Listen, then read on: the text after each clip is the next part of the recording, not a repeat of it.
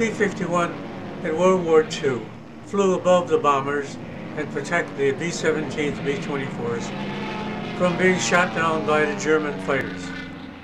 And our job was literally to protect them on the way to the target and the way back. You were subject to be shot down, ended up as a POW like me.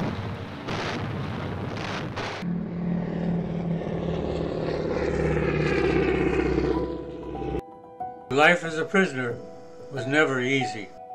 Outdoor toilets, just a building. Food was at a premium, always. Weather was always rough.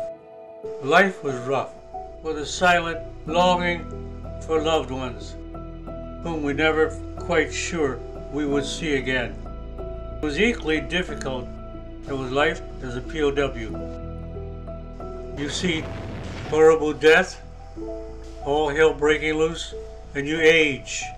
This is where boys became men overnight.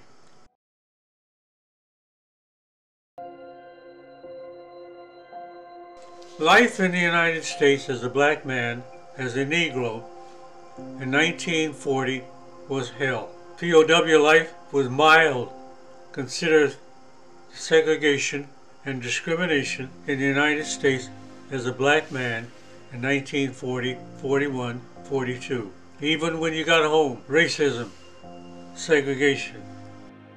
At least in Stalag Luft 3, I was treated as an equal, an equal human being, under the circumstance of hunger, loneliness, and all the other things, food, despair,